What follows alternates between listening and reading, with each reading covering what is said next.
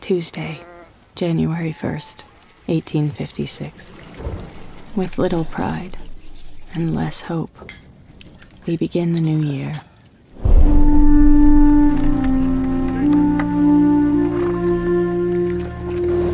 Who is that? Good afternoon. I'm Tallie. Abigail. I hope I'm not keeping you from something. I'm glad you've come. Meeting you has made my day. Oh, how pleasant and uncommon it is to make someone's day.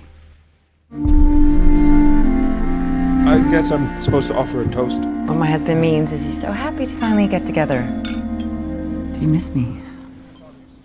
Yes. Our farm is a slaughterhouse right now. My husband is killing his hogs. And I resolved to visit you so that there would be something in my day other than his meanness. So, what do you think? What do you think about this? I don't know how to put it into words.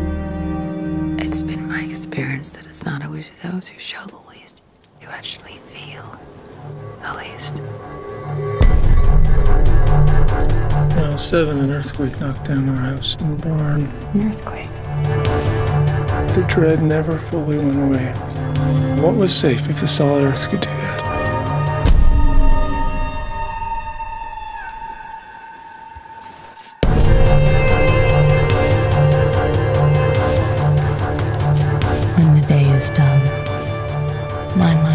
Mind to her and I think, why are we to be separated? I don't feel I have a wife.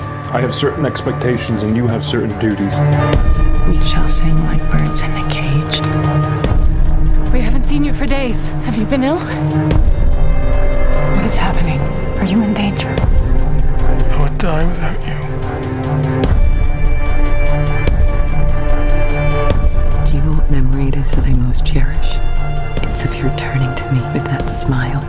Once you realized that you were loved.